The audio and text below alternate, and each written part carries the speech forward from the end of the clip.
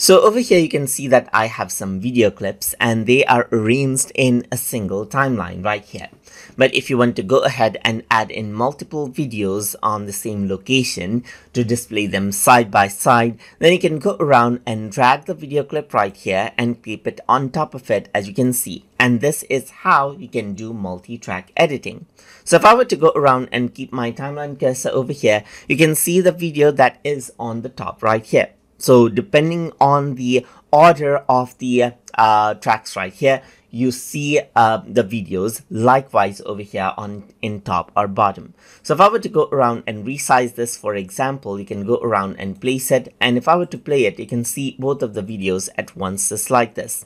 Similarly, you can go around and drag this up over here as you can see and this is what you have. You can go around and resize it, place it out over here and this is what you have as you can see. So over here on the top and bottom, this is what you have as you can see, just like this.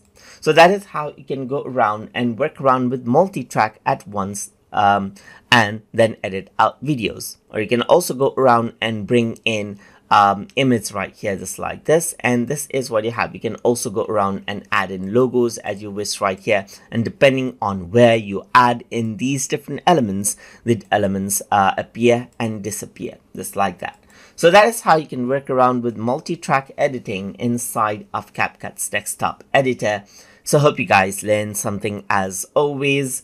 And as always, please like, comment, share, and subscribe.